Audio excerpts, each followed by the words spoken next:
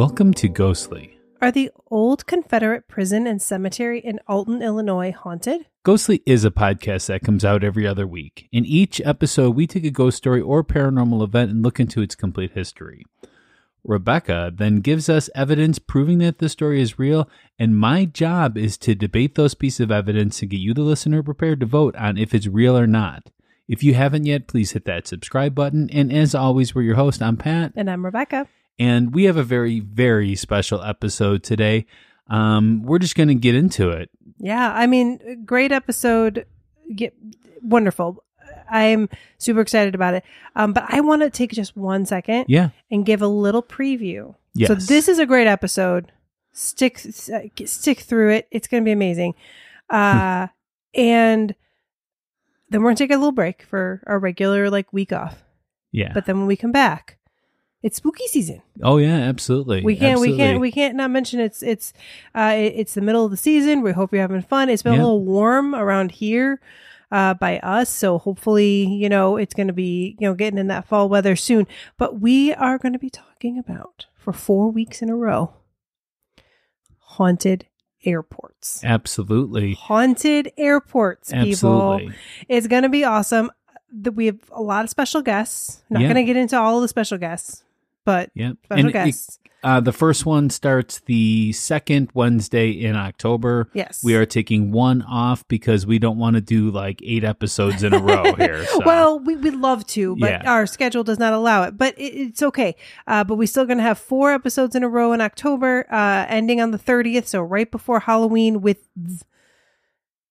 I, you know, if you can, if, if you know haunted airports, then I'm going to tell you right now that you know which one is on the 30th. So, uh, no, we'll talk a little bit more about it at the end uh, of today's episode. But I just wanted to put that in here if you're listening Yeah. to, you know, make sure you're you're subscribed. Because, Absolutely. You definitely want to hit that subscribe oh, button. We now. got some good stuff coming.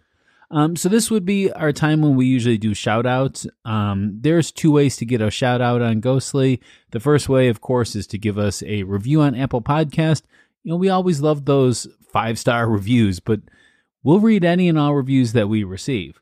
Uh, the second way is to become a member on Patreon. Just go to ghostlypodcast.com and click on Patreon in the menu bar. Uh, we have a lot of different tiers to choose from.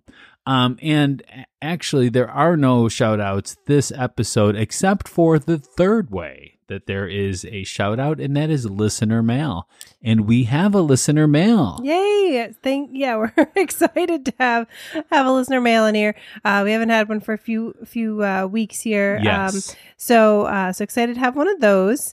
Um, so let's uh, let's read it. Okay. All right, so this is from Anonymous. They wanted to stay anonymous. Yes. Okay.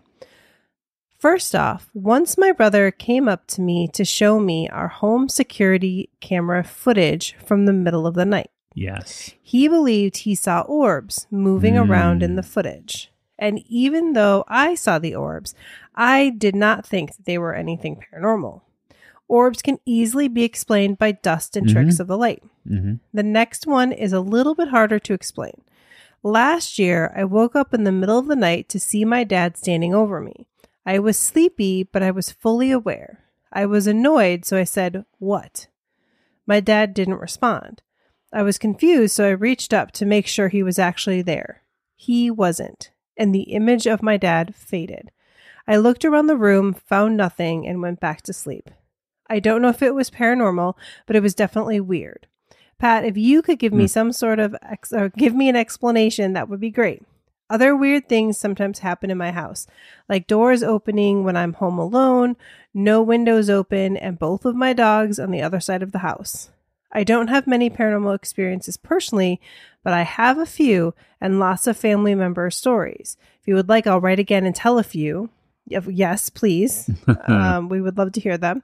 Um, thanks for listening. Keep up the good work. Hashtag Team Believer. Sorry, Pat. But she or he, sorry, I guess I don't know. I, I actually didn't even see this email, so I, I Yeah. shouldn't assume gender. Um, wants your opinion. Yeah. So, um, my opinion about that, eh, you're not gonna like it. Um, I'm just gonna say that you're not gonna like it. Um, oftentimes we hear stories about people that wake up and they have some kind of paranormal experience, and every single time my thought is instantly that they're not fully awake. And I know you said you're fully you were fully aware, and you might think that you are, but I don't think that you really were that's my only explanation for that. Um, it, I mean, it happens with people so much so that like the sleep sleep um, paralysis episode that we did way back one, you know, that explains that too. Unfortunately, is that people are not totally awake and they're in this middle stage, and um, that is like the scariest thing possible is that middle stage because things can happen to you that uh, feel out of this world but really aren't you know and um i definitely un- like understand that um like if i saw my dad i would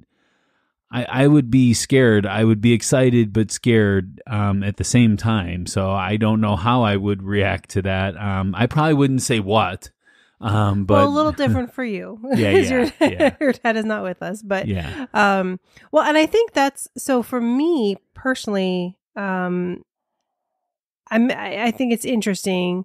I think you know if it really two things. If it's your dad, it's a little weird because you know if nothing happened to your dad, if he's just in the house, like why would his image be there? But I also wonder if it was something else and that you put the image of your dad on it because in your mind, like who else? What what other man would be standing by you? Well, I got the impression that her father had passed on. So oh, well then I'm sorry. that's what I that's what I assumed. So, oh, okay.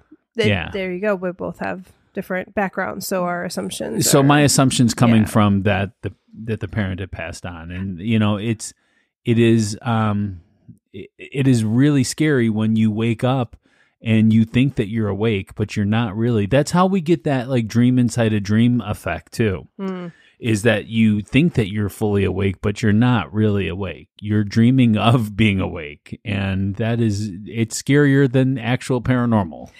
I guess I think because she said what made me think like she's used to her dad's around and so might be might be i was just there. assuming the other way Yeah. if the father was around still the same same answer for me you Yeah. know I would wouldn't. I I would be more skeptical if there weren't other things happening in the house. okay Like even if we took out the orbs, there's still like the doors and things like that. Yes. So sorry, we're not going to resolve this for you, uh, listener. Um, but we will give you our yes. thoughts and take them for what they what they are. Yeah, and, I uh, mean, it hopefully you find them helpful. it would be really interesting if this was like like black mirror days where you know you you had like a recording device on you 24/7 that you could replay that then we'd have all the answers to all these things Well, but I- we don't Yeah, I mean, because I'm also curious about the image of my dad faded. Like, if I literally saw it fade, yeah, that's freaky. If Yeah. it's truly like you blinked and it was gone,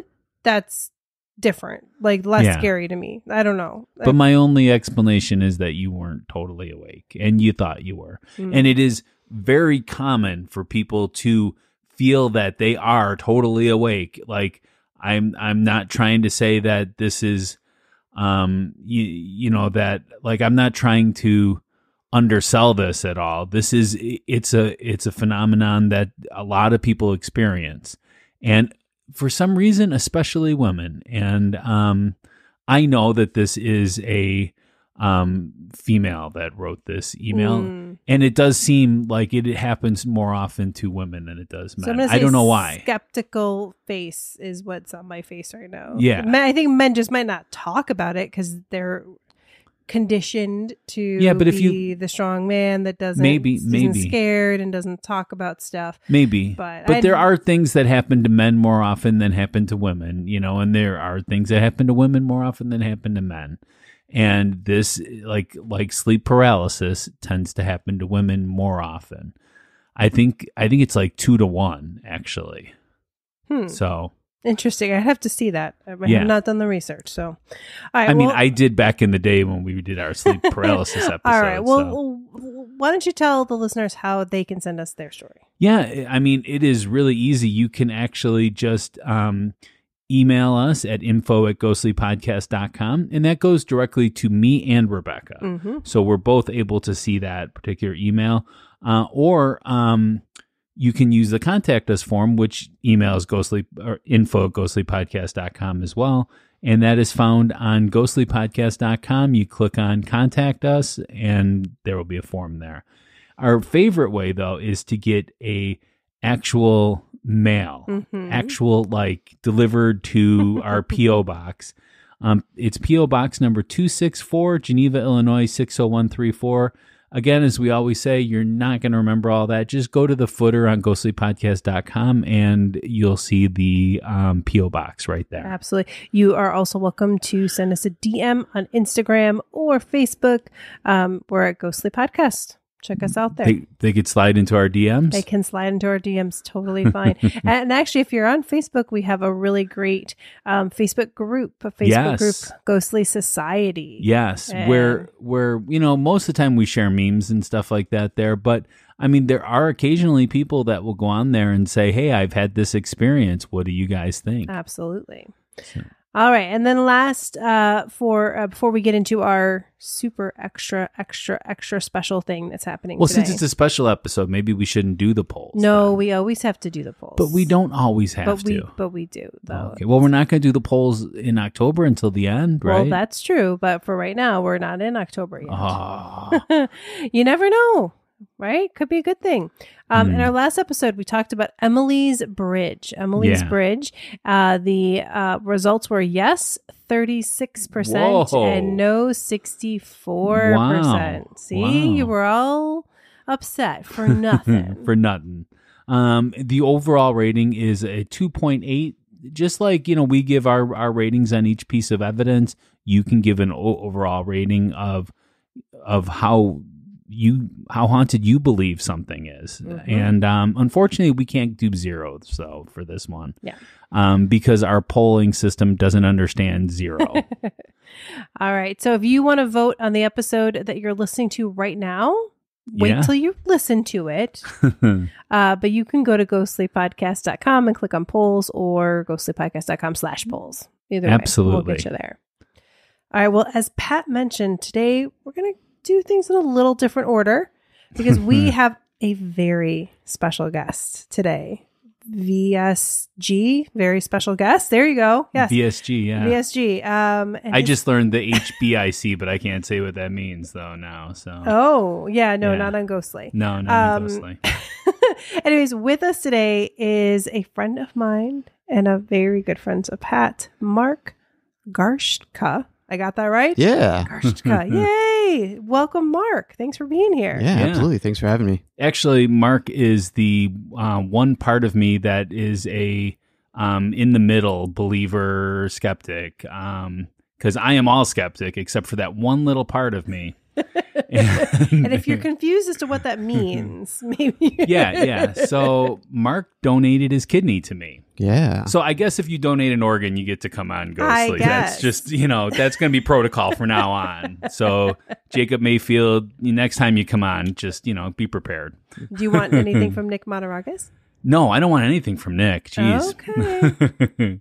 All right, so Mark, um, by the way, thank you. I don't Yeah, know. yeah. You know, I I have never publicly thanked you like this, but um, thank you so much. You've restored my faith in humanity because um, you know, oftentimes you can um look at the world and it's kind of a dark place sometimes, and and you just being so willing and you know just let's talk about that a little bit. How did you hear that I needed a kidney? Yeah, so I um I was randomly scrolling through Facebook Marketplace and one of the Wow. ghostly podcast uh posts popped up. Okay. And in that post it was one of those, "Hey, it's another year, Pat's looking for a kidney. If you know of anybody who might be interested, fill out this form for the hospital."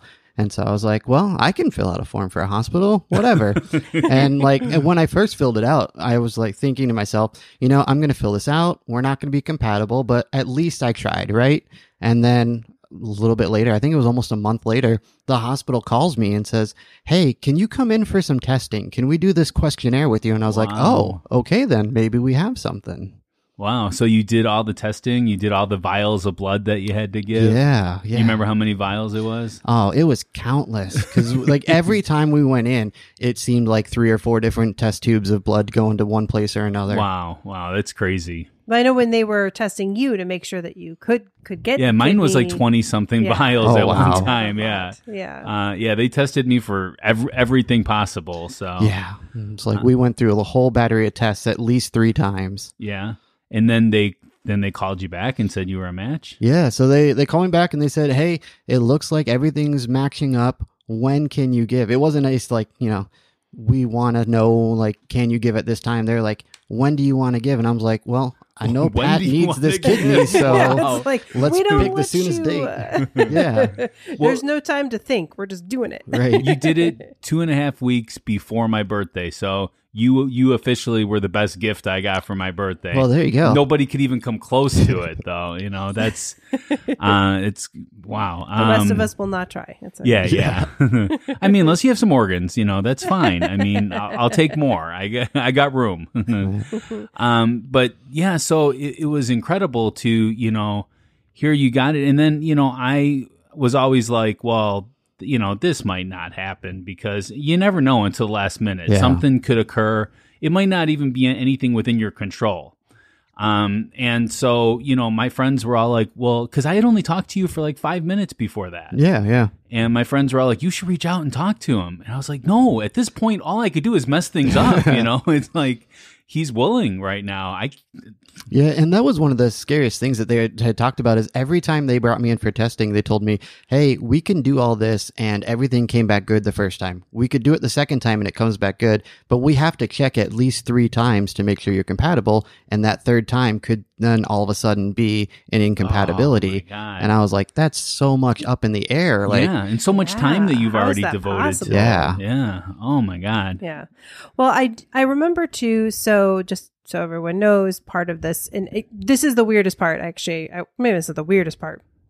Weird for me is that Mark and I are co-workers, so it's not like completely random. Except that it is because you and I hadn't talked about this. Right, Like I right. don't. Rem- I which surprises me. I have no idea why. Like it had never come up in our conversations. But it didn't that you that I know someone that needs a kidney. So um so one day randomly you're like, oh hey, by the way, I've been getting tested and I'm a match. And it's like, what is happening? And the thing is, like, if you hadn't told me, we wouldn't know. yeah, Yeah. the hospital didn't want to tell you guys. I'm no, like, they "Man." won't. Like because No. of HIPAA. Yeah. Like even Yeah. if you said like, no, I give permission, like Even the day No. of. Even the day of. So I went to the wrong floor, which was actually the floor you were supposed to be on, and they were like, "Oh, you're not supposed to be here," and they rushed me out in case I saw you. Oh man. you know, in case you didn't want to tell me or something.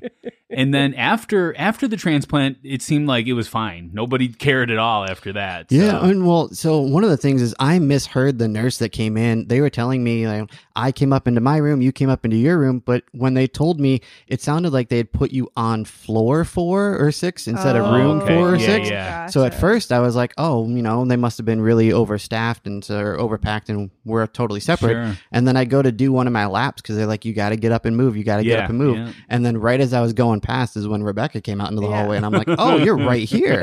we were like two rooms away Yeah. from each Rooms other. away, yeah. Yeah. So, crazy. um, how did your recovery go? It was um it was okay. It was Yeah. it was interesting. I heard that my recovery was a lot worse than your recovery. Yeah, Um, and and they expect that yeah. actually. So, I- So I think the hardest part was for two months, for a whole eight weeks, I was not allowed to lift more than a gallon of milk, which is about eight pounds. Yeah, I don't know yeah. the kilos for those overseas, Yeah. but it's like a gallon of milk, and I'm like, I'm always working with horses and Yeah. I'm moving stuff. You're a and- very active person. yeah. I'm one of those people that I hate to take multiple trips bringing groceries in, so do I, I load So do everything I. up, Yeah. and then all of a sudden I'm like, I can't do that, and so uh, one of the, my friends was like, I was over at their place, and I was like, Hey, I'm gonna run over to the store and pick something up. Do you need anything? And they're like, Oh yeah, um, can you get us a gallon of milk? We're all out, and I didn't think about it at the oh, time. no. So I went, Oh, I my shopped, and I had taken a cart for the, in the store. But then getting out to the car, lifting my arm up to put the milk on top of the car to open the door, Oh, I was like, that hurts. Wow. It's crazy. no. Wow.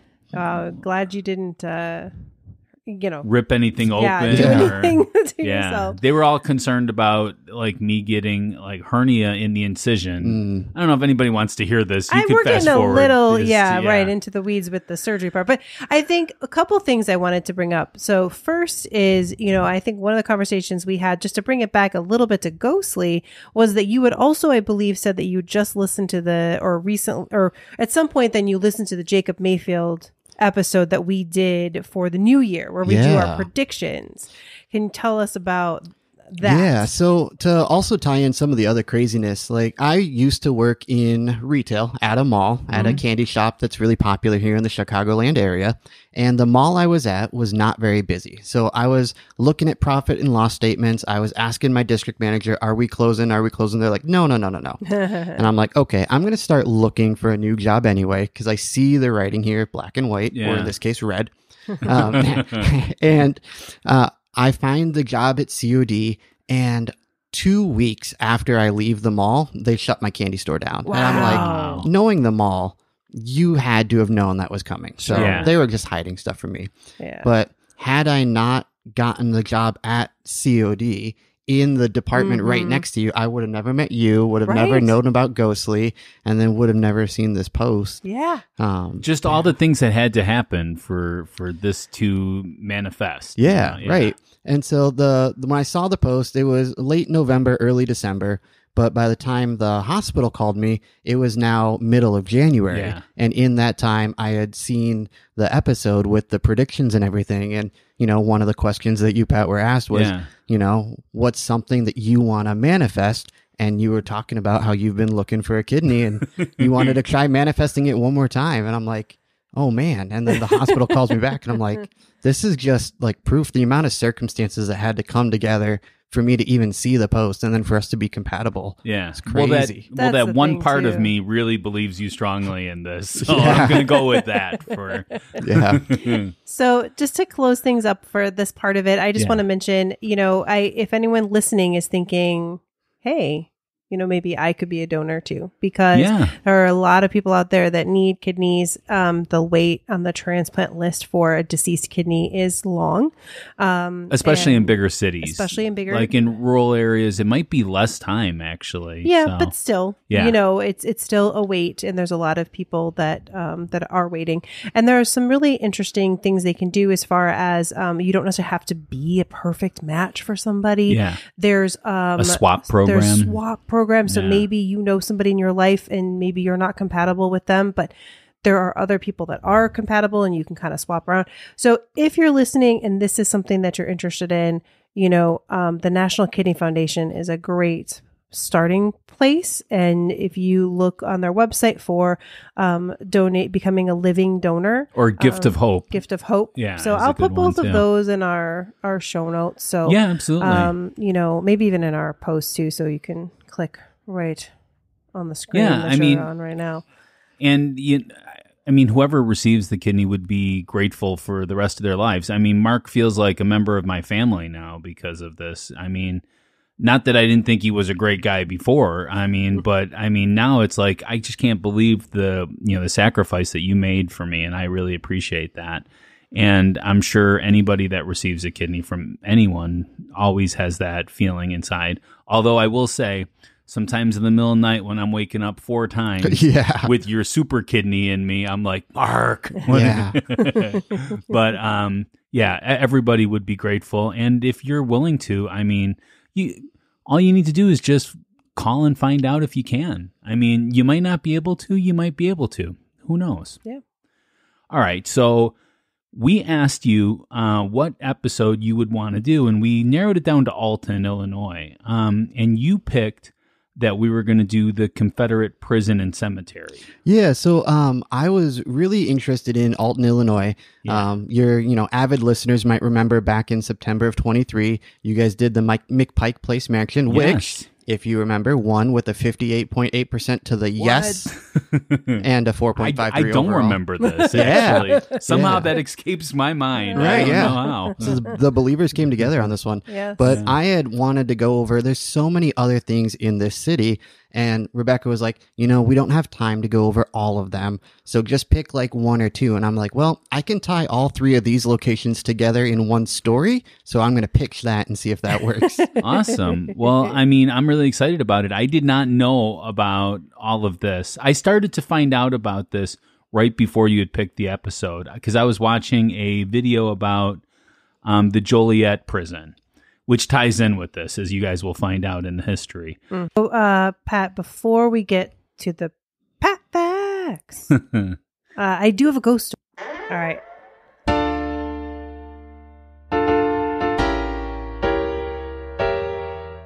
It's time for a spooky tale from Rebecca.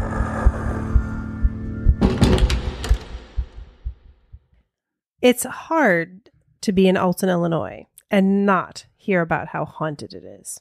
Supposedly, every house and park has paranormal stories.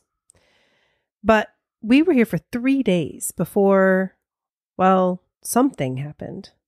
We heard a lot about the old prison and how poor the conditions were there. It sounds like there was a lot of death. They even say that the reason the town is haunted is because the limestone from the prison was used to build the rest of the town when they tore the prison down.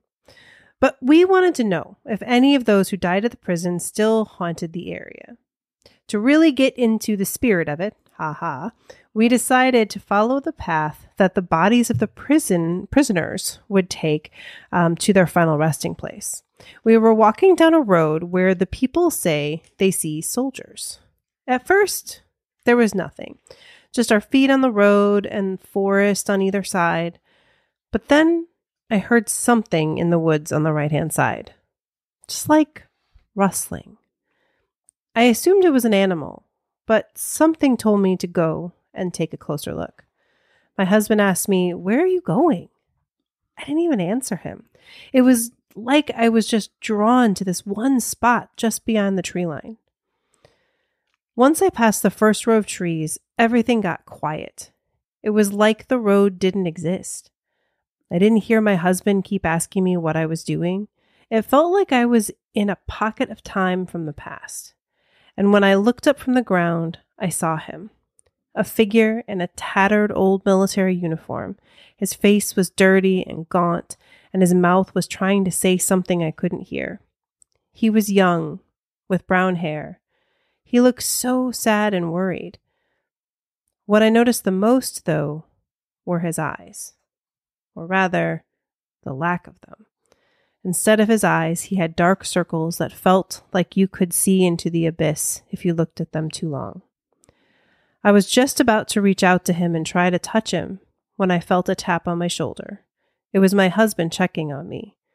The moment I turned towards him and then back, the soldier was gone. So was the eerie feeling of being outside of time. I knew the spirit was gone. At first, I was mad at my husband for ruining the moment and connection I had with the spirit. But then I realized that I don't know what might have happened if I did touch him. Maybe he saved me from a fate I wouldn't want.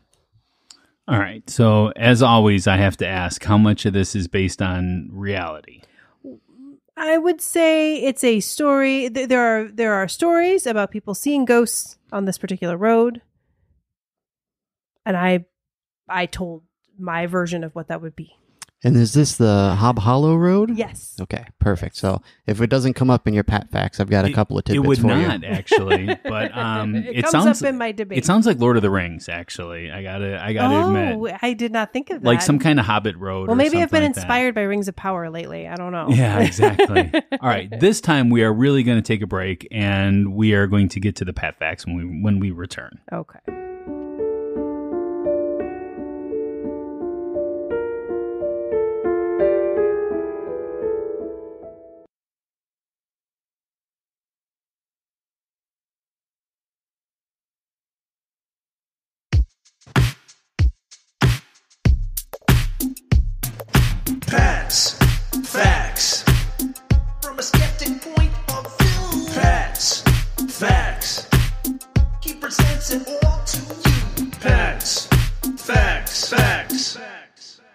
So we're gonna jump into the path facts, and Mark, please jump in at any point if you have something to say about anything. Yeah.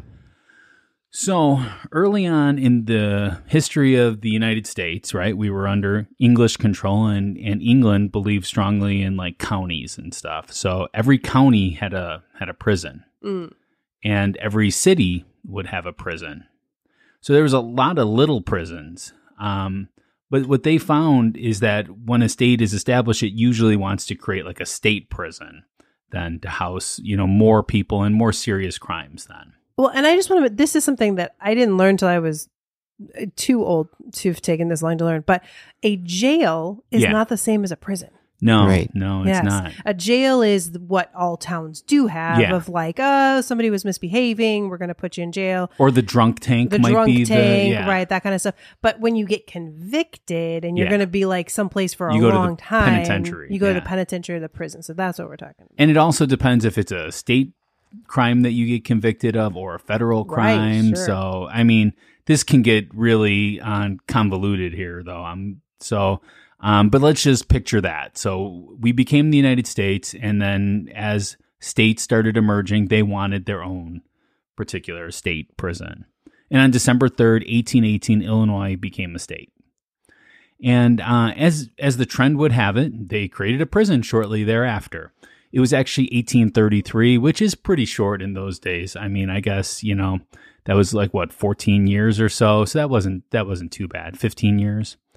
Um, and Illinois op- opened its first state prison in Alton, Illinois. Which is interesting, right? Because today you would think, oh, well, why wouldn't it be Chicago? Alton is like on the bottom of the state. Like it's far Yeah. from Chicago. All the way down next to St. Louis and everything. yeah, but like it, that just shows kind of where the population was, maybe. Yeah, absolutely. Because it Alton was actually a very fast growing city. Uh, it was growing faster than Saint St. Louis, which was its nearby neighbor. Mm. Um, and it grew that fast because of of how close it was to the Mississippi River. So Mhm. because then they could, you know, get supplies all over the place. Uh, the Alton State Prison opened with 24 prison cells. Alton Prison didn't last very long, though, actually. uh, it only lasted till officially 1857, although it took time for, you know, transportation of prisoners and stuff. Um, but Il- Illinois decided to close it. So they brought all the prisoners to the new state prison, which is the Joliet prison, uh, which we've done an episode on. Uh, I don't think we call it the Joliet Correctional Center in that one. We call it the Old Joliet Prison, I believe. Yes, and that's the one where he, Pat himself Sausage King and saw a ghost in the oh, window. I did not see a ghost. totally did. well, I saw someone pretending to be a ghost. It was a haunted house, and I don't mean haunted house like in that it's There you know, was not on it house happening at Yeah. time. At at the time of closure, the Alton prison had 256 cells. So it Oh. went from 24 to 256 cells. in like third twenty years. Yeah. like that. Wow. Yeah, a little bit over that. Okay. Uh, and what was unique about this too is that they also had female prisoners there. Oh. Uh, they were also incarcerated at Alton Pen- Penitentiary. Uh, from 1835 to 1858, 65 women and 3,000 men were sentenced to Alton. Female prisoners endured the same uh, degrading conditions as men, while their gender exposed them to added indignities uh, and abuses. And in 1845, male inspectors claimed one female prisoner is of more trouble than 20 males. Uh-huh.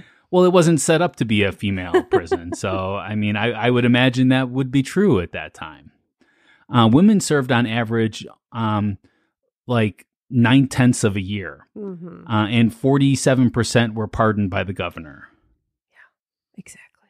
Exactly. Exactly. okay. Uh, around the time that the prison closed, there was this major event happening in the United States. I don't know if you guys have ever heard of it. It's Well, let- called the Civil War. I was gonna say Yeah. if you can make a guess, right? What Yeah, yeah. happened in in the uh just after the the, the closure of this prison. So 1857 to right. and it took them to like 1860 to move all the people. right, so. right, right. So So in 1862, the U.S. had this great idea, right? They're going to reopen the prison that they just closed because it was probably too small and it couldn't house that many people. Um, so they reopened the prison to house Confederate prisoners of war. Um, now, the reason this is perfect for a Confederate prison is because it was far enough up north that the Confederate Army would have trouble getting to the prison and breaking people out because that's what they would do, right? If you're at war and you have a bunch of soldiers in prison, you're going to try to break them out. yeah, Mark, did you find anything about like why this prison was picked as the place or Nothing specifically about why this one versus others, but I know a lot of these prisoners did come from one of the nearby forts that was then conquered. Um, Oh, okay. Fort, that's escaping me right now. I think it starts with a D, Mhm. um, but it was a Dearborn? nearby fort. no? that's a Um, No, that's Chicago. that's us too, and that's Yeah. not Civil War. yeah. so uh, they had just conquered this fort, and then a lot of these prisoners came from that fort's battle. Mm. Gotcha. Okay. Yeah. Uh, the prison housed over 11,000 prisoners during the war. That's a lot. Yeah, including Confederate officer Ebenezer Maganiff. Great name. Yeah, right. Ebenezer, or the, he went by Ben too. Is it Um, yeah, MacGuffin? MacGuffin. That's it. Yeah. I was gonna say, like, I uh, I love that name, like Ebenezer MacGuffin. And well, a I'm MacGuffin isn't that when you start a story and that just gathers the characters together so that you can. Oh yeah, like there's no something real reason and it never comes up up again. Yeah, exactly, Yeah. Magical plot device. Yeah, Yes. absolutely. So I guess this is a plot device for this story. Uh, he was a Confederate officer in the American Civil War who carried a Missouri State Guards uh, colonel's commission and became a prominent figure in the early phase of the war in Missouri. Ebenezer, uh, even though he liked to be called Ben, I like Ebenezer. Yeah. he was sentenced to death by Union Army military commissions in 1862, but was spared execution after Kentucky Governor Barra Maganiff, Mag, Ma, MacGuffin. MacGu- I mean, Yeah, it's hard. it. I don't know. I'm MacGuffin. It Let's just go with. MacGuffin. It's just more fun. Um, pleaded for the life of his brother with Abraham Lincoln. Ah, there you We go. did an episode on him too. That guy. Now, is this your only reference to Abraham Lincoln in here? No, actually, I'm going to go on with Okay. more stuff. Okay, then I'll let you keep going here. So Lincoln suspended the sentence pending review, but Ebenezer escaped Alton Prison, where he had been confined on July 25th, 1862. Mm. So what happened was Ebenezer's sons, um, Elijah and um, Bera, uh, were instrumental. They they dug this 20. They dug this hole for 20 days. That was 60 foot long Wow. and it was a tunnel leading to freedom for Ebenezer. But then also 36 other Confederate prisoners went with them. That's crazy. Yeah. Just to think that they had the time and opportunity to dig three feet per day. Nobody did anything. Yeah. Yeah. So it was a really bad made No one's prison. like, I wonder know? what those uh, guys are doing out there. Yeah. Looks like they got shovels. That's weird. so, according to reports, Ebenezer was stabbed to death in 1865 while uh, trying to break up a tavern fight. Mm, So he got spared, but he ended up dying anyways. interesting. So deaths at the prison were more common than at any other Union prison, uh, and prisoners faced harsh conditions and regular out- outbreaks of diseases such as smallpox and rubella. Uh, the Alton prison closed again in 1865, this time for good. It was later demolished, and all that remains of the structure is a section of the wall. Yes. Uh, the prison site was added to the National Register of Historic Places on December 31st, 1974. It is also part of the uh, Christian Hill Historic District, which was listed on the National Register in 1978. And the Alton prison site is maintained by the state of Illinois as a state historic site. Now, to talk about the cemetery a little bit, um, the state of Illinois purchased a three acre plot in the area because if you have a prison, people are going to die in a prison. Well, especially if you have eleven thousand prisoners in a prison that. Well, this is this is even had- before that too. Oh, yeah. oh, I see. Yeah, yeah, yeah. yeah. But so they just figured people of- are going to die. And well, stuff, and like so. you said, there's diseases and other things going Yeah. through. Right. but the plot was known as the Buck Inn. It was just north of Alton. that's kind of a weird name for a plot of land. Yeah. I'm Yeah, guessing again, there was. It sounds like something out of Lord of the Rings.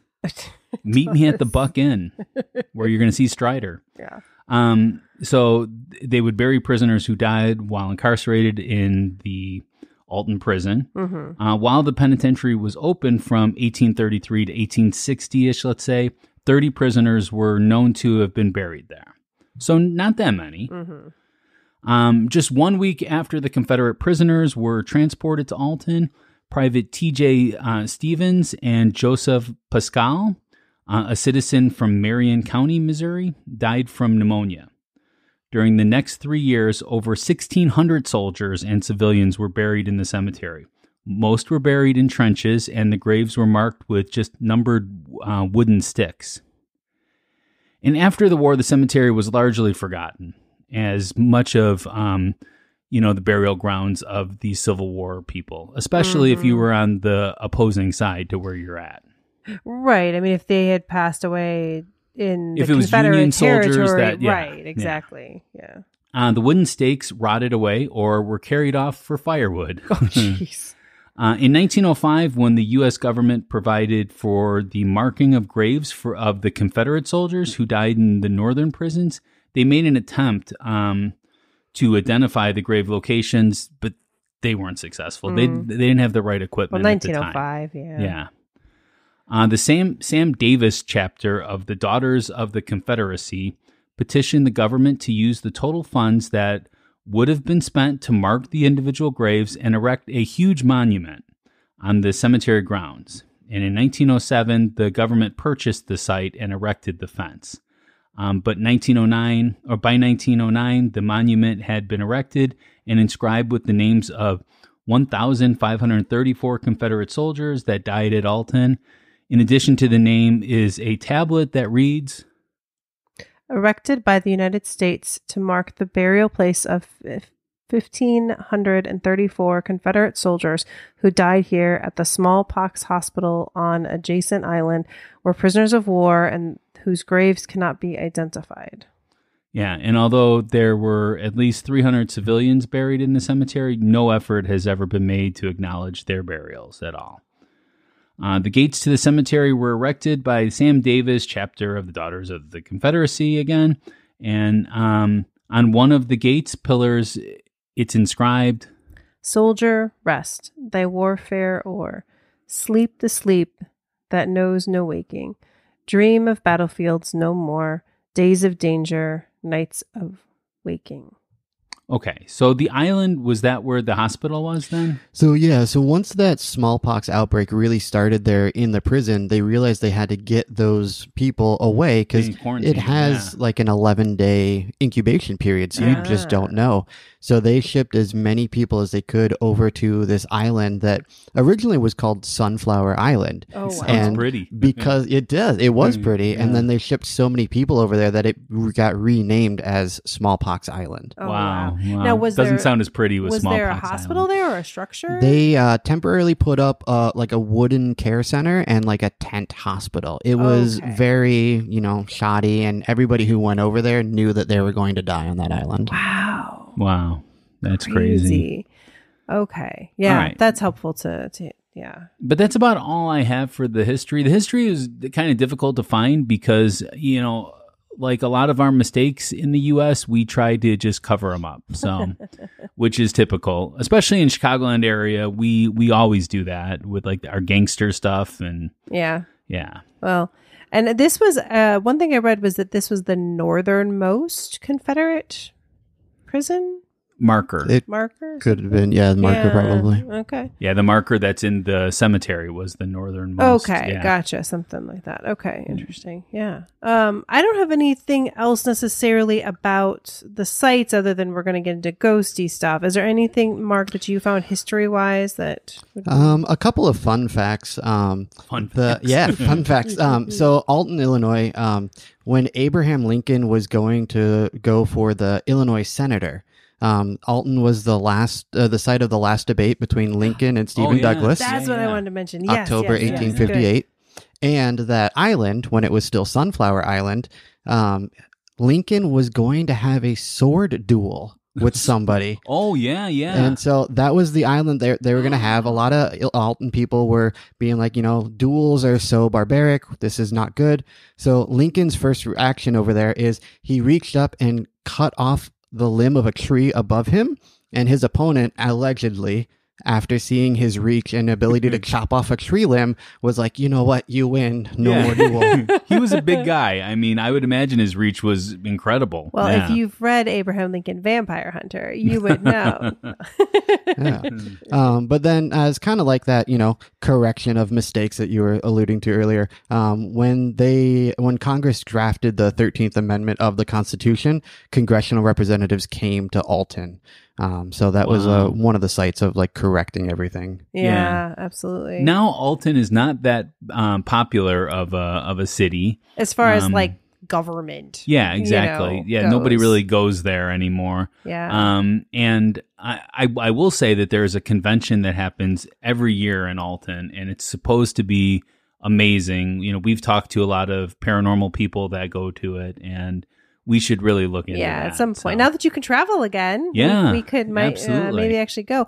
You know what? But now I, I do remember one other thing. Just to go back when you talked about how at one point Alton was a rival for St. Louis. I don't know if you any if either of you saw this, but there was something where St. Louis saw that happening and was there a little more downstream on the Mississippi, so they like built something and I Oh, didn't go like super into it, but basically it was like they they they kind of cut off some of Alton's like water or Oh, like yeah. ability or was like oh you could just stop here first you know whatever and so then it kind of diminished i could totally all. see that they totally kind of took the bigger city I mean, look what they them. did with the Cardinals and stuff like that. I mean, I could totally. No, I'm just kidding. I, do, I have nothing against St. Louis. St. Louis is actually a really cool town. I had some Yeah. the best barbecue that I've ever had there. So yeah it's fun it's um good. yeah it's kind of like the weird like up here where um like chicago and oh what's the city that's in the driftless area the um, Galena, Oh, Galena, yeah. like was uh, it was like Galena or Chicago, Galena, who's gonna win? And then it's like psh, now you're like what? Yeah. Similar. Yeah. Well, it's the I and M Canal that did that. yes, So absolutely. all right. So I think that's it. Do you have anything else, Mark? No, that's uh, pretty much covers everything that I had Okay. looked up in the history. All right. All right. So we're going to take another break, and then when we return, we're going to get to the debate.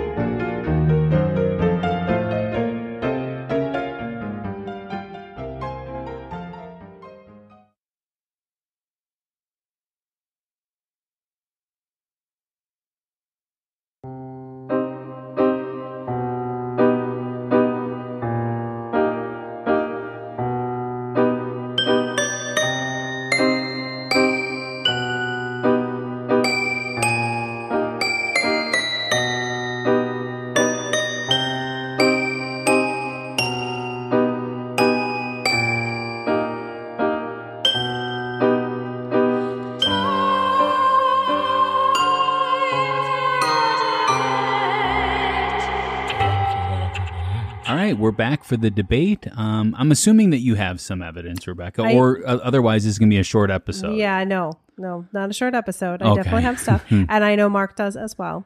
Awesome. Um, so uh, before we get into the specifics of the prison and the cemetery, I actually wanted to share some thoughts about like Alton and paranormal in general, right? Because I know we talked a little bit about that with the McPike Mansion, but I think Yeah. it's still helpful to think about. sure. And I found an interesting quote from the Travel Channel's Ghost Adventure Show. Your favorite, pet. Oh yeah. Favorite. Yeah, I love They that. did a two part special on Alton, Curse of the River Bend. Hmm. And the show's website says there's a powerful force at work in Alton that shaped this land thousands of years before humans ever set foot here. This town is a perfect paranormal storm. Hmm. Dun, dun, dun. That says nothing right there. I mean, seriously, what are they? What are they alluding to there? Well, we're gonna get to that. I Okay. wanted to ask what what do you know? Uh, the stone tape theory. yeah. Oh yes, that too. Yeah. No, I also have that. Yes, yes, yes. Uh, yes, because there's well, uh, yes. Let's get to that. I'm to that. assuming in that a lot of this is like limestone or something. That's like that. definitely a, a big part of it. Yeah. But this is something a little different. And that's Okay. why I grabbed it. Okay. All right. So we don't know, obviously, what the area was like before humans lived there. Okay. But there is clear evidence that the Alton area, area terrified folks long before the Europeans got here, right?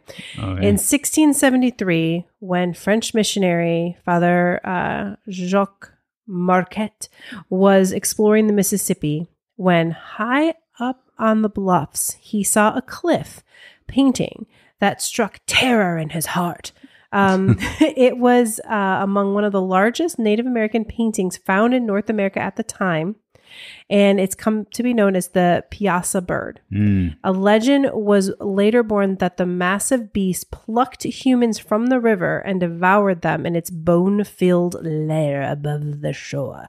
Marquette wrote in his journal while skirting some rocks, which by their height and length inspired awe, we saw upon one of them two painted monsters, which at first made us afraid, and upon which the boldest savages dare not long rest their eyes. All right. So far, I'm really intrigued with this. So, so far, because this is not ghostly, this is more cryptid. Yeah, based. this is just kind of like a little side quest we're on. So cryptids, I have a hard time with because could there have been this super large bird? Maybe. Yeah. Maybe we just haven't found any evidence of this bird, or maybe it was a pterodactyl or something. I don't know. it's possible. So I, I don't know. So so far, I'm gonna be like, I don't know. This is not this really one. my evidence. This I is know just that's kind what of a thing. that's what I'm saying so far because I can read a little bit. He's ahead. got something I can tell. Well, so that like if you look at the picture of that bird, it's a terrifying looking bird. And then uh, I didn't realize we could pull that far, you know, adjacent to the city. So I didn't put that in my notes. But if I remember correctly, that painting is pretty high up there,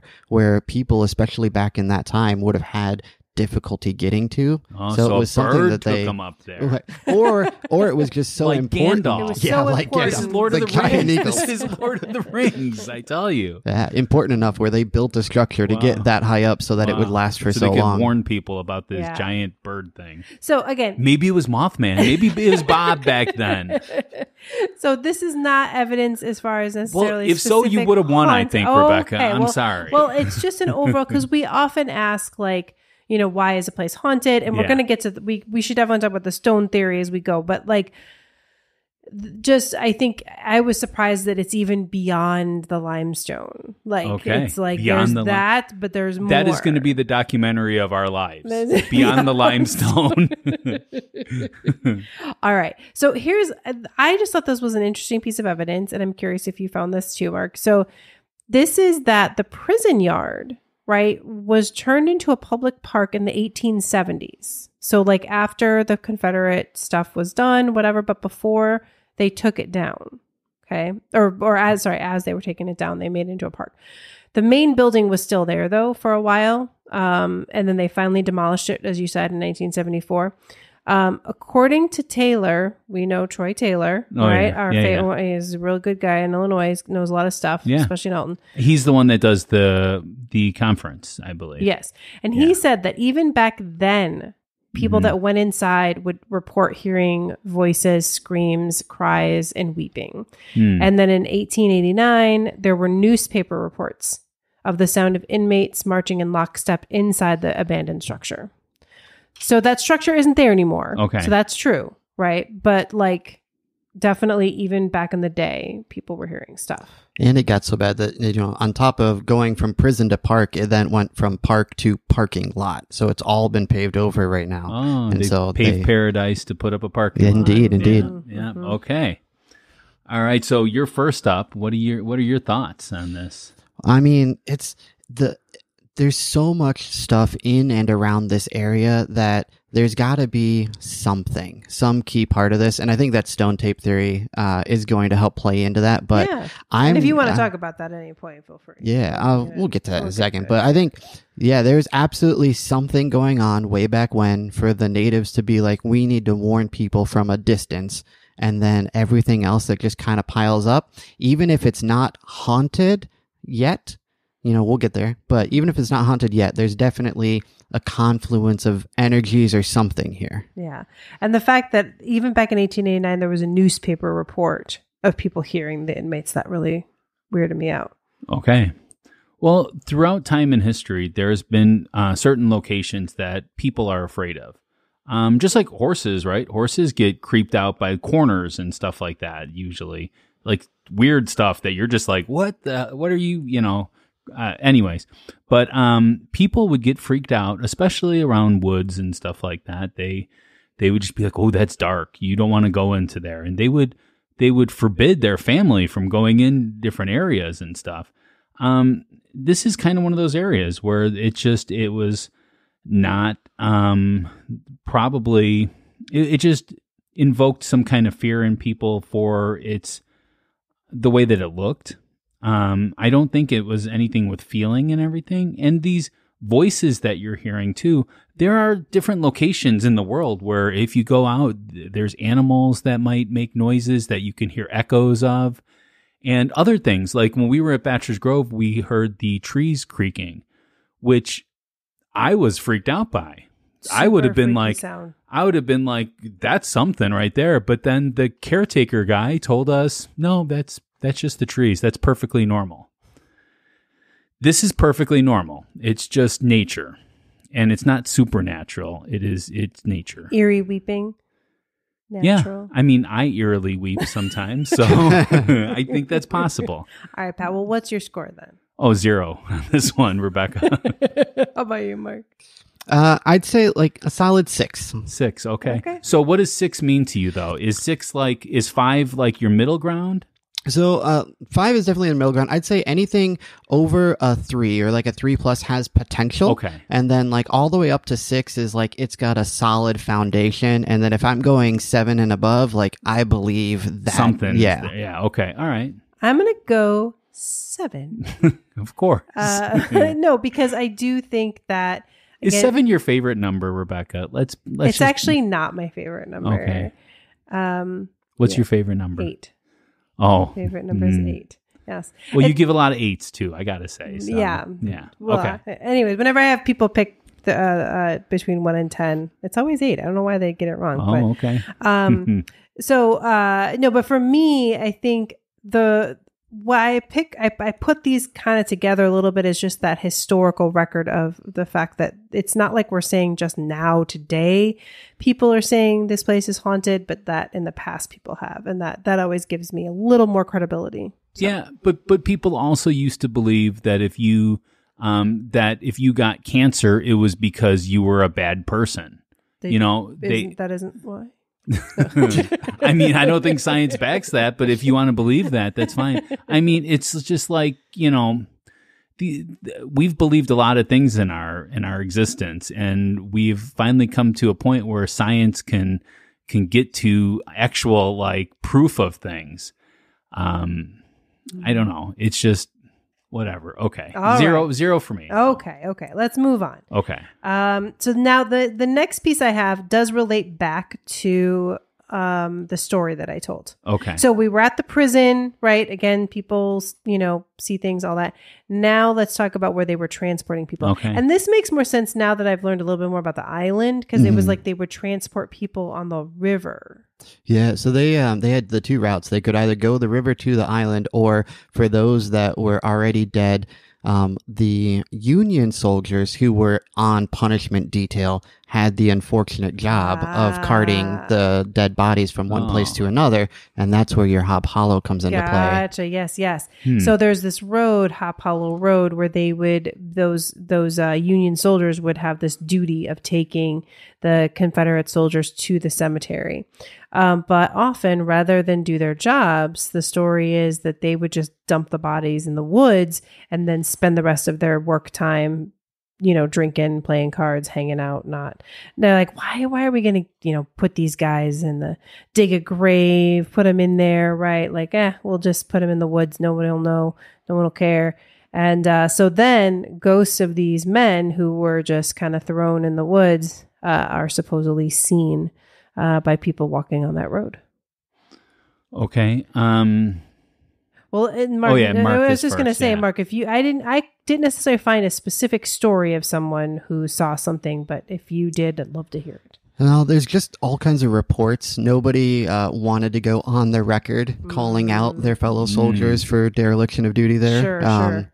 But it was just a lot of reports of, you know, these were the Union soldiers on punishment detail. They decided that their shift would be better spent with, you know, drugs and dice and cards and decided to skip out on the manual and manual probably labor. rightfully so. I mean, you know, probably if they're going to just take them to their death anyways. have 'em Well, just- they were already dead. Oh, okay, then just throw them in the woods. That's fine. Yeah.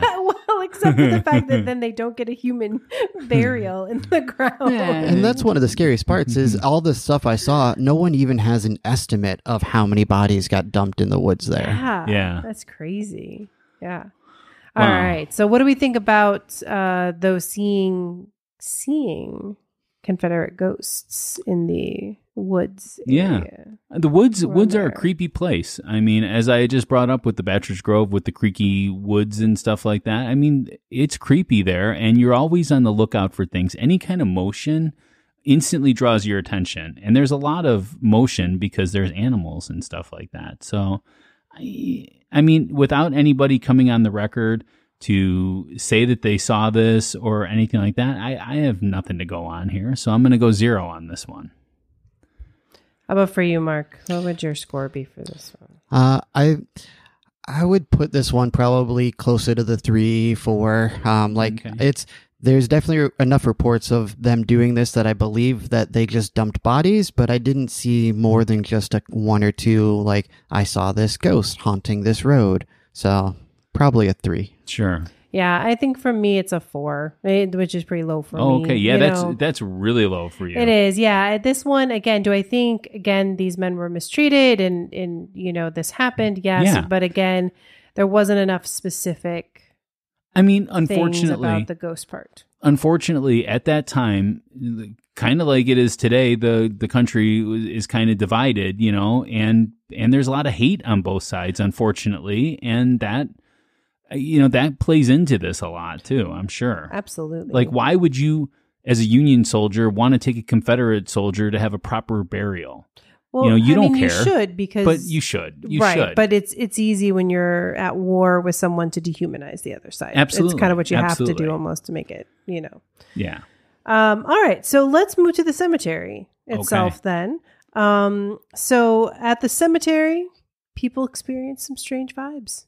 They're vibing, Oh, right? okay. Um, there's the only the one marked grave, and as you mentioned, you know, there's like the 300 people that aren't even mentioned on this. yeah. Um, and as people walk around, they are likely walking over dead soldiers, right? You said they're they're just kind of buried them around.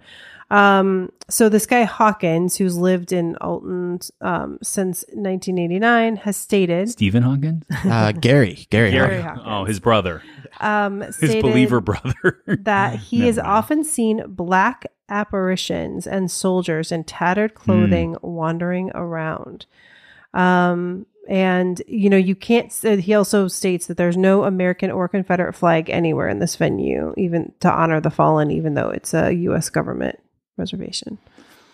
Whew. But anyway, so this guy claims that he has often seen Yeah. these kind of black figures, shadow figures. It sounds like to me, and uh, the soldiers in tattered clothing. Did you find anything else, Mark? Yeah, so um, we definitely have all of those um, of the Confederate soldiers. They see people in tattered uniforms, they hear rattling of chains, but there's also some non Confederate ghostly happenings here in this cemetery. Um, the first one I found is a Presbyterian minister, uh, publisher of the St. Louis Observer, Reverend Lovejoy. Um, he Reverend was he was uh, Nice. he was uh, one of the supporters of the anti-slavery movement um, and was publishing a lot of articles promoting abolitionism. Um, and he was actually killed in a pro-slavery mob while trying to defend his printing press. Um, so he's got a huge monument in that cemetery, and it's said that his spirit can be seen from time to time wandering near the site of his memorial, perhaps even in death, trying to defend his right to freedom of speech. Okay. What are your What are your thoughts about this, though? Do you are you do you believe this or Um, I would say probably a five. Um, there's there's been those reports, but I I can't tell you. I found old articles of the Alton Times. The uh, it was called the Telegraph the Sure. Alton Telegraph, and I was going through so many because I was like, I know you want facts, so I was going through so many of these articles trying to find someone putting it down in the newspaper. Couldn't find it, so all I have are those stories. Yeah. But it's possible. I mean, his his monument there, if, if I remember correctly, it's like almost hundred feet tall. It's huge. Yeah. Um, and he definitely had a huge presence on the area, so it could Well, happen. anything is possible if you don't use the the laws of physics. You know, I Right, right. mean, if if we're just like in imagination land, anything can happen, and that's great that it can. And I love these stories and stuff. But unfortunately, uh, we live in a world that's fact based. Yeah, well, I've got some other uh, circumstantial evidence for you then to throw in. Because right next to Lovejoy's monument um, is another ghostly experience, but this one is steeped in a little bit more tragedy. Okay. Um, so there's a nearby plot belonging to the Haskell family. Haskell was one of the prominent merchants in the area. For his little daughter, he bought her like a life size dollhouse. It's the size of a small cottage. wow. Um, but she unfortunately passed away from diphtheria. oh, yeah. Um, but her spirit, the spirit of little Lucy Haskell, um, is seen to, and she was nine when she passed, uh, has been seen, and it's right next to his monument. Um, other children will see her. So she'll come out for the other children. The other children will play with her. She's reported to be very playful and curious. Um, but then when moms and dads come around, all of a sudden Lucy disappears. That's very similar to Graceland Some It is, yeah, it There's the one there. Now, I do want to point out. I think these are there are two cemeteries in Alton. So the Confederate Cemetery only has the one monument, and then the one that you're talking about is the like The city? Alt- city cemetery. yeah. Oh. So it's okay, right? I mean, we're still talking about Yeah. cemeteries and people seeing stuff in cemeteries. So Yeah. it's all good. Um, but just in case anyone is confused listening. So, um, but yeah, I I- again, I think for me, totally right. Like we've got people. Like this guy gives his name. You know, willing to put his name on it that he sees these things there. Um, and absolutely, there's multiple reports. You know, of other again, some the cemeteries in Alton are definitely haunted. Is what I'm trying to get at. I haven't really gone yet though, so I'm Uh, just well, yeah, gonna- I'm just giving my okay. side. Yeah, yeah. I, it in I. I hear you. Right. Um, but I'm just going to say that with death, uh, and I struggle with this too, is tragedy always makes me um, want to hope that there's something, you know, some kind of remembrance of, of these people. Because in death, I'm not afraid to die. I'm afraid not to be remembered, you know, that my existence meant nothing.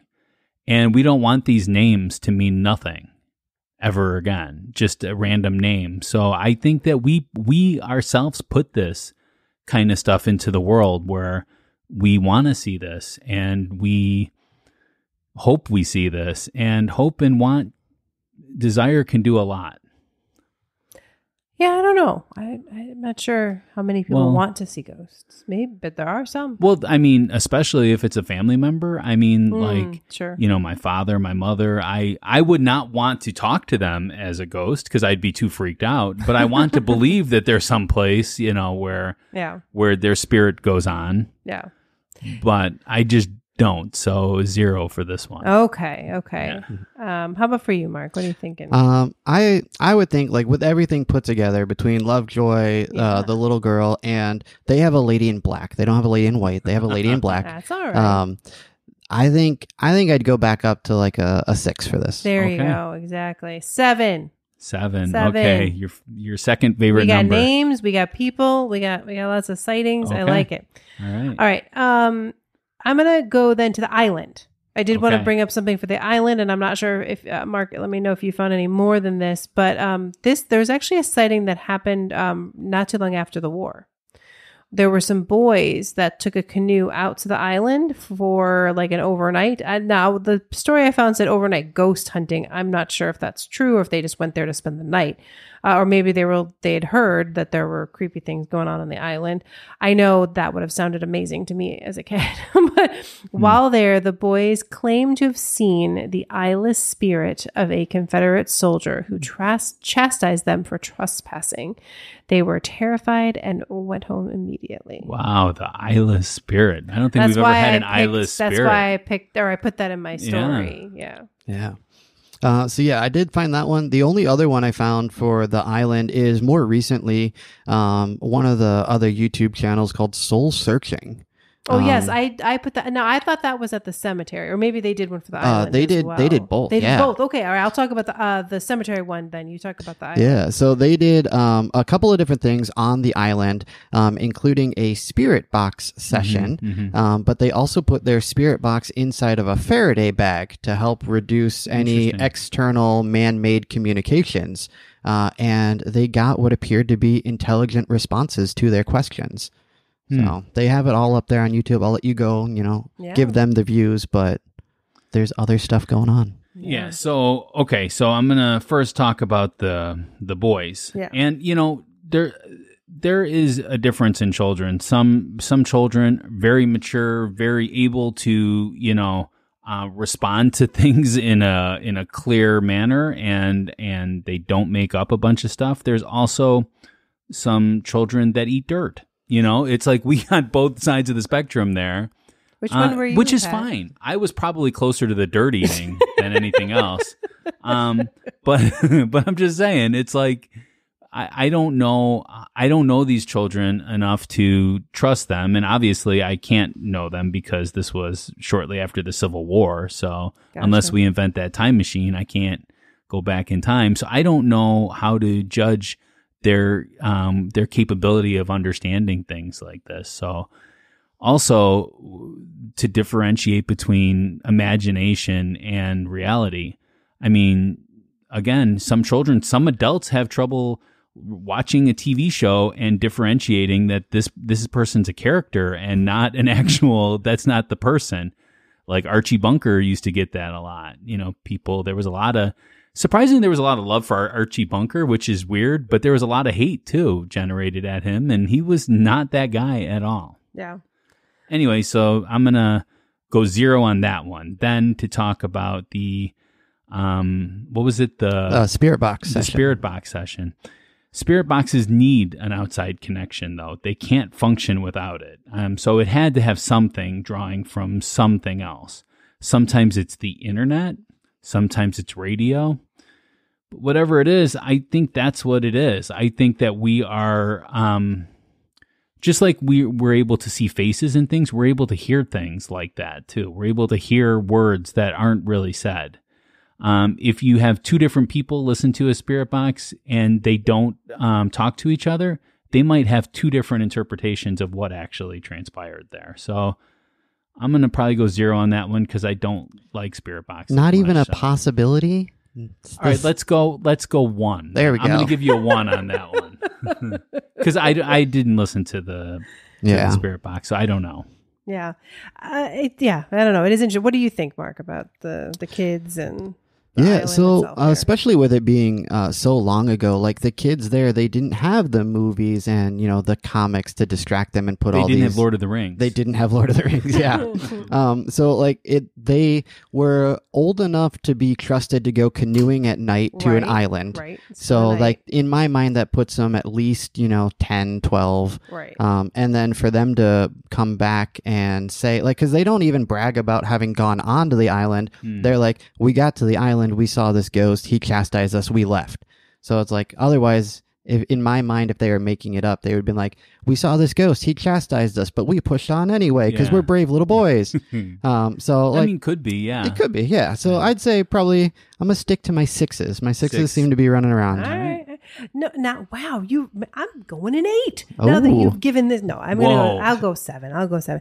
But the- what you see, it's good to have different voices on here because again, I don't think like a little boy, uh, and that makes sense, right? You would wait until the next day when you got home, and you'd be like, oh, and then you'd like build up your story, right? Because you look like a coward if you just run home after only being there like an hour. All right, so. I tried to convince my mom that Boy Scouts was um, something that you would get into if you were going to join the military when you got older. oh, and I was I was adamant about this. I was, you know, like, no, this is really what it is. your mom. Oh my god. So I mean, love about this. this is just. I mean, I was the dirt eating boy, and by the way, um, I didn't tell my mom what I was doing, so I could have done a canoe ride at midnight. It wouldn't have mattered to. anything. So, um, yeah. All right. Well, I've got one last one, and that is going back to the other uh, soul searching is the investigation team, Yeah. Mm-hmm. and they went to the old cemetery location back in 2021. Um, they did use the same spirit box and got some interesting conversation with what could be the soldiers who passed. Um, and I just grabbed a few of the words, as Mark said. You should definitely go watch the videos. We'll put those in the show notes. But um, they mentioned prison they and right after that dirty and this is not this is the kind of spirit box that's more like easier to understand this Like isn't Neil's. like yeah like Neil's this isn't like a radio where you're like Yeah. huh huh like did it have a word in there like this is like much clearer than that so um I don't want to give away, you know, like like I like Neil's spirit box, um, so I don't want to give away what I believe that his spirit box is doing. I could be totally wrong. I just have an idea in my head that I keep to myself Okay. every time I hear it. So Um, they said they wanted music, and Oh, okay. especially when she started to play music, they they really kind of came out a little bit more. Um, there were peop several people that mentioned their names, and when she asked where they were from, there was Maine and St. Louis. they should play. Bismarcky to them. They would never want music again. Yeah. No. Great. What are your thoughts about that? Yeah, so I saw a lot of the. Unfortunately, for our argument here in the um, cemetery, I did get a lot of that. You know, the words I heard are not the words they put up on the screen. Yeah. Um, but I still heard stuff at the appropriate time. So Sure. even if it wasn't the same thing they put up, it was like pause, nothing, nothing, nothing, question, answer, nothing, nothing, nothing. So Mhm. it wasn't like a constant background noise. It was in response to, or appeared to be in response to. Um, but this one for their spirit box session in the cemetery, I think I'd go back down to a four. Okay. Well, I'm gonna probably say that I- you know I've got, as I said, I've got my own idea of what I believe spirit boxes are. But now that I mentioned Neil's, it's hard for me to then say what I believe that some of them some of them are just radio um, rate waves that they just pick up random things. But I do believe a lot of times it's interpretation. And I believe it's helpful if people are closing their eyes and listening to it by themselves and write down what you think and then compare it with other people. And Yes. I guarantee you're going to have differences. And that, that to me makes me more skeptical about it. Mhm. If it was that clear, prison, dirty, and music, you know, then we might have something, but I still don't think so. I think those are words that are put in the box somehow by radio waves or internet. A lot of them use I- internet apps and stuff too to to generate these voices. So I'm just gonna say that, and I'm gonna I'm gonna give it a one again because I don't know this particular spirit box. I did not listen to the session, but I've listened to a lot of spirit boxes in my day, and none of them have convinced me to believe anything. So. Like I was gonna send it to you, and then I'm like, it's not gonna make a difference. Yeah. I'll give it a six for myself, a little Okay. bit down. Um, I mean, I do think it's interesting. I think it helps lend a little bit to the idea of those spirits kind of still being there and being restless. Um, but yeah, spirit boxes, there's always a little bit of uh, maybe a question. yeah. Yeah. Now, is there any evidence, Mark, that you found for any of these three places of hauntings um, that I didn't bring up? Um, so there was uh, ghost hunter girls who went to the cemetery. Oh, right. And I wanted to bring this up because I know how much Pat loves orbs. oh, orbs are so great. so um, they had two EVPs that they put up, um, but they clipped them so short that I would want to hear longer clips before presenting them as actual evidence. But um, they're pictures of orbs. I mean, they're definitely orby. Yeah. Um, but it's not like super congested with like dust and flies and other stuff. So, I just yeah, when there's just one there. clear orb, I always think that's interesting. Yeah. so, have you ever heard of the term um, no-see-ums as far as bugs go? Oh no. Okay, so no-see-ums are bugs that you can't see with your eye, but that are there or they're very, very small, very, very minute, and they're the they're the most pesky bugs ever. Okay. Um, they're like like fruit flies kind of thing, you know. Um, but they oftentimes cause orb uh, orbs to happen. Also, differences with light and differences with cameras and stuff like that can cause it. It's interesting because you know I would believe more if you saw it with your naked eye, but then anybody that tries to prove that to me is using a camera to do it Right. and I can't verify that at all. So, um, Yeah, orbs not my not my jam. Yeah. Yeah, zero. Yeah, I remember one of the, the episodes I just got done listening with earlier this week. I was like, I know how much you love orbs. So you got to bring up the orbs. Yeah. Absolutely. Um, but yeah, out of the those places that we've gone over so far, um, I think that's probably everything that what I what found. about that theory that? I was just going to say, Oh, let's right. go Yes, back yes. to the stone theory. The stone theory. transfer So, theory. yeah. yes. So the stone tape theory, it's a pseudo-scientific claim. So you know it is science, Yeah. certainly science adjacent, um, but it claims that ghosts and hauntings occur when historical information is released from rocks and other items. So there's this idea of materials holding on to information from emotional or traumatic events, um, and it all aligns with uh, views from 19th century intellectuals. I have names for you. These people were willing to put their name and reputation on the line Wow. such as Charles Babbage, Eleanor Sidgwick, and Edmund Gurney. Oh, Gurney, I don't ever believe. No, I have no idea who Gurney is. Well, and and isn't this somewhat with uh like in Europe with the castles and stuff like that? Yeah, so uh, you guys had mentioned Troy Taylor earlier. Um, he's quoted as uh, saying, being built on top of porous limestone bluffs filled with caves and natural water sources, some believe that energy from the past is contained within those things, returning like a recording to haunt the present. The British have a name for this, the stone tape theory, which is how they explain the inordinate, inordinate number of hauntings in the castles over there. Yeah, so that goes back to an argument that me and Rebecca have had for a long time, mostly on Ghostly X. Um, is residual ghost? Uh, are they actual ghost? Residual being that it's like a memory that just plays out over and over again, exactly the same.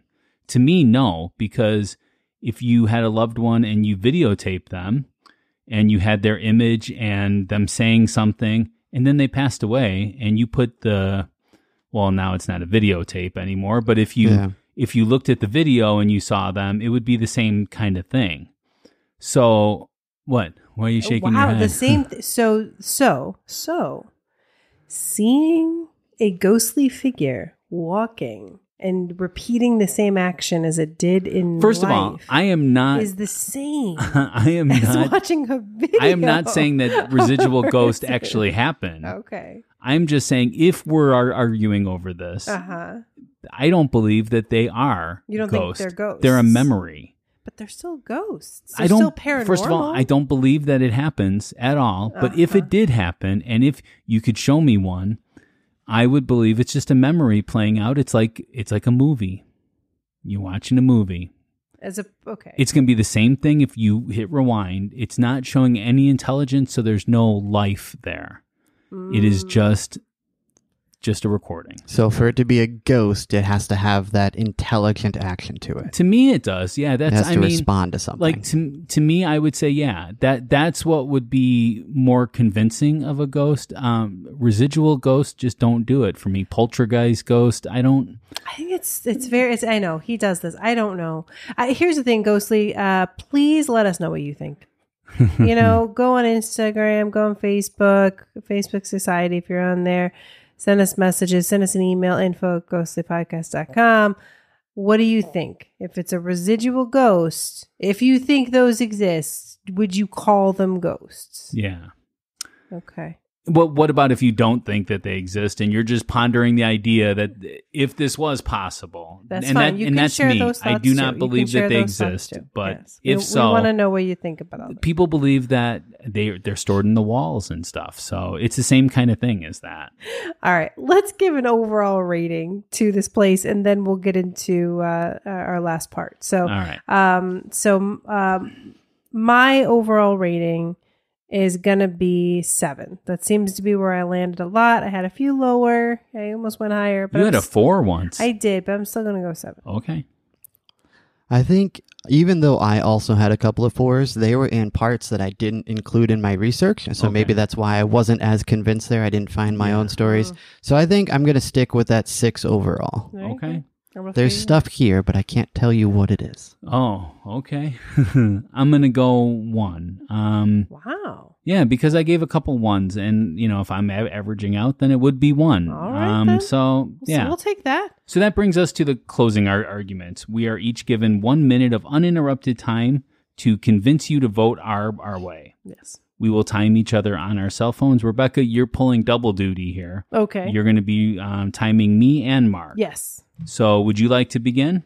Yeah, I'll go first. then. Okay, so let me pull up my timer here. All right. All right, and go. All right. So Alton as a whole, right? Haunted.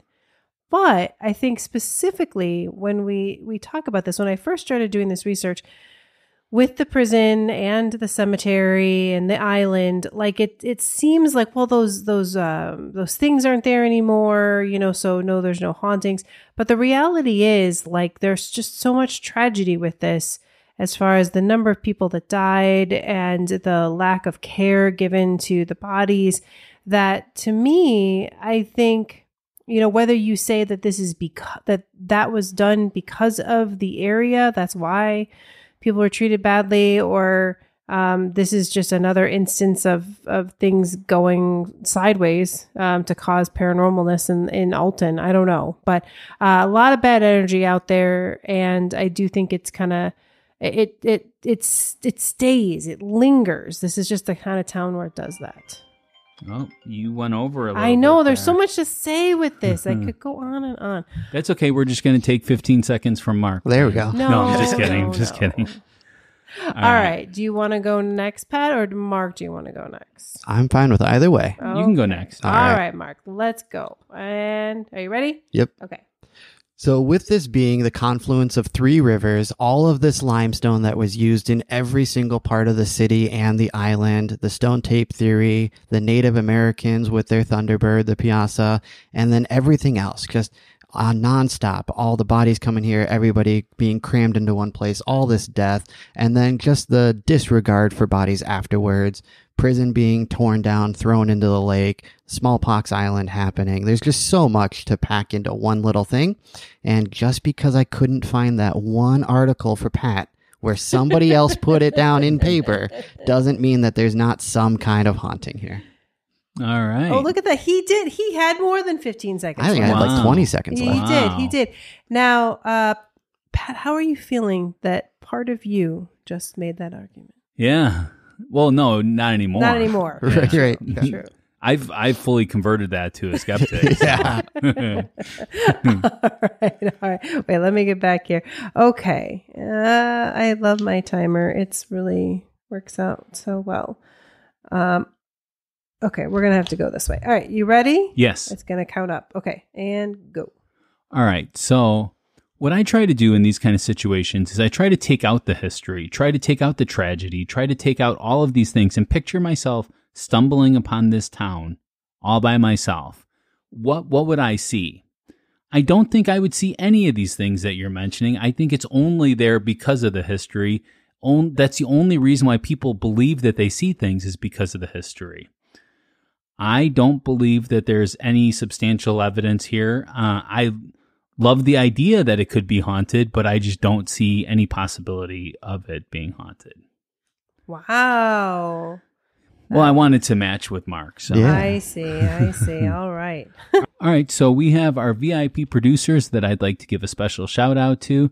We have Andrew, Alicia, Becky, Cindy, Kevin, Jessica, Alice, Aaron, Hope, and Candy. And on the next episode of Ghostly, as we talked about before, we are going to be taking a week off um, because we are going to be doing episodes weekly now. So, October, Um, man. We we gotta. yeah. So don't expect the, the first week of October to have an episode. It'll be four straight after that. And the first airport we're going to be talking about is Honolulu, Hawaii Airport. Uh, it comes out in October 9th. Now, uh, what do you think, Mark? We're doing haunted airports in October. Ooh, is Denver on the list? Of course, it is. There we go. That's coming out last. That's going to be uh, October thirtieth, and we got a Yeah. really awesome guest for it. So Yeah, yeah. Well, we have a really awesome guest for this one too, Honolulu, Hawaii um, Airport. Hey, But uh, it comes out on October 9th, and we're really excited to dive into the airports. thank you again so much, Mark, for being on this episode. It's been super fun. It's Thank been a you. lot of fun. Do you wanna do any kind of shout out or anything to anyone? No, I'm just really curious to see how everybody votes on this one. So make sure if you are one like me who oftentimes forgets to vote before it closes, just go ahead and vote. Yeah, well, we'll keep this one open the whole October too. yeah, give people we a like chance to, do to that. vote. Yeah, so uh, um, ghostlypodcast.com slash polls. Yeah, or just click on polls in the menu bar Yeah. that's on Easy, ghostlypodcast.com. easy. Until next time, stay ghostly. Bye.